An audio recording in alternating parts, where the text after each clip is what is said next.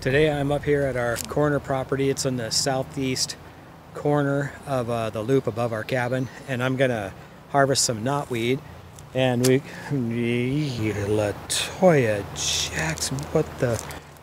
Maybe we're not gonna harvest knotweed. Holy cow! Check this out. Oyster mushrooms.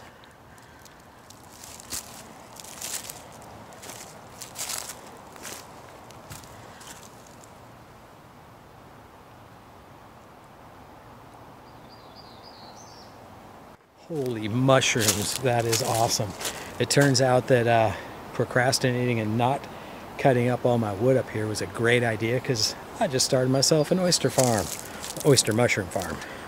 Holy cow.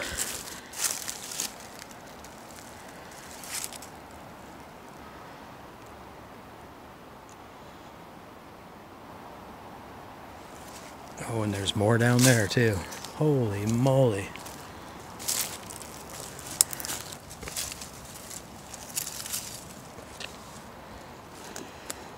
Let's look around a little bit.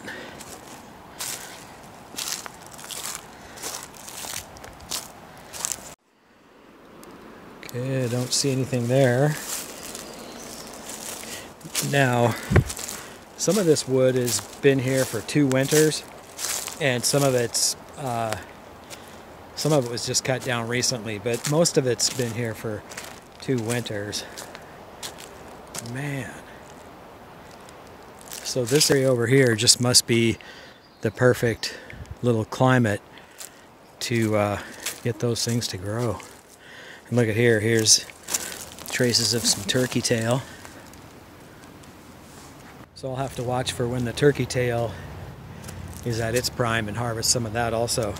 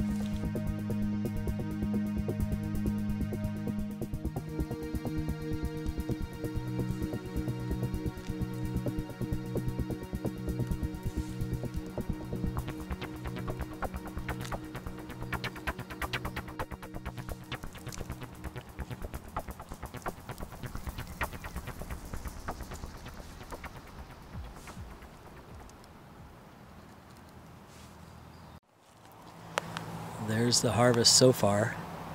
There's still quite a few on there, some on there, and a few down there also, down in there. Let's peel this back and see. Oh my goodness. Wow.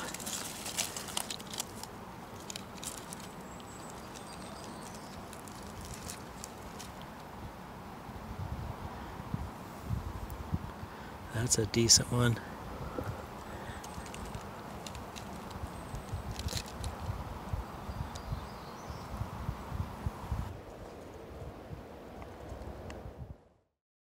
Oyster mushrooms don't keep that long, so we're going to keep some out to have tomorrow, and then uh, we're going to dry the rest tonight.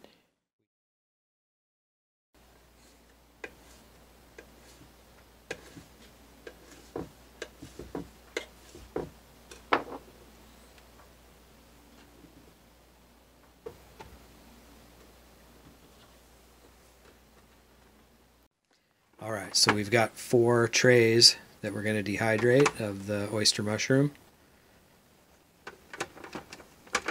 So yeah, looking good. And then we've got this little Tupperware here that That's going to be for dinner tomorrow night with some steak.